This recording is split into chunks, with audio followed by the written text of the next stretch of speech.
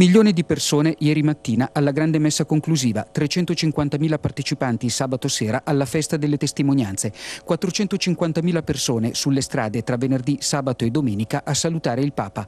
Non sono solo numeri utili per gli annuari e le statistiche, indicano l'entusiasmo e l'affetto che per tre giorni hanno circondato Benedetto XVI in visita a Milano per il settimo incontro mondiale delle famiglie.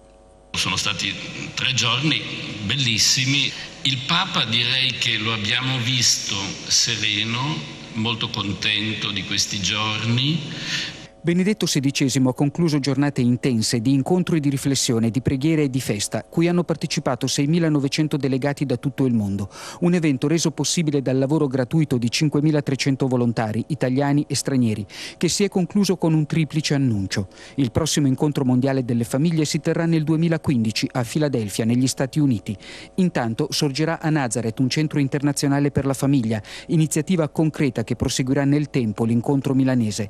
Per decisione decisione del Papa, infine, saranno devoluti alle popolazioni terremotate dell'Emilia 500.000 euro delle offerte a lui indirizzate, ma del Family 2012 rimarrà soprattutto il commovente spettacolo del grande abbraccio al Papa, della gente comune, del popolo di Dio, di una Chiesa viva, che ha molto confortato Benedetto XVI. Ieri dopo pranzo il Papa diceva è bello stare in mezzo alla Chiesa viva la Chiesa è viva con la gente. Da questo punto di vista dovete rassegnarvi ad un dato di fatto, che l'opinione mediatica italiana non è l'opinione pubblica, signori carissimi. L'opinione pubblica ama il Papa, la gente ama il Papa e in particolare i milanesi hanno mostrato di amare questo Papa.